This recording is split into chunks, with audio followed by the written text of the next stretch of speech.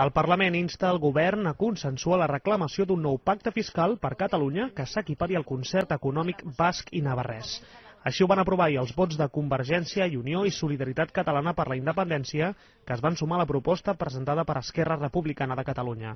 La moció reclama la creació d'una comissió parlamentària que treballi en un nou model de finançament.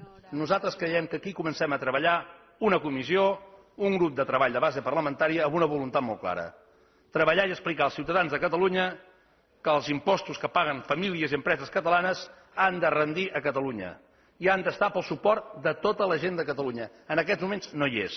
El que ha de quedar ben clar és que la solidaritat, quan és imposada en els seus termes i limitada en la seva quantitat, això ja no és solidaritat. Això és espoli fiscal.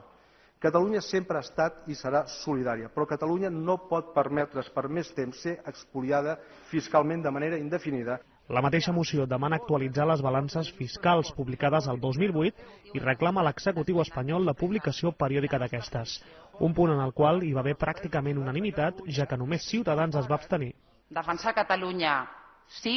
Exigir el que ens pertoca, sí, sí. Treballar seriosament per les aspiracions que poden ser compartides i majoritàries en aquest país, també. Ara, fugides endavant, no. Desmereixer el que hem votat als ciutadans no permetre que el govern no exerceixi la seva responsabilitat tampoc i contribuir a la frustració col·lectiva d'aquest país el grup socialista mai. D'altra banda, en les darreres hores s'ha conegut un canvi d'afiliació al Parlament. Joan Laporta, fins ara diputat de Solidaritat Catalana, deixa aquest subgrup parlamentari i queda com a diputat no adscrit.